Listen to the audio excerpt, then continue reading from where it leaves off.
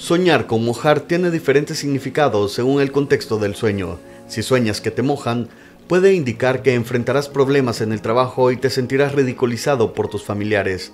Si sueñas que estás mojado o empapado, en el sueño sugiere que estás superando tus emociones y experimentando una limpieza espiritual y renovación de tu ser.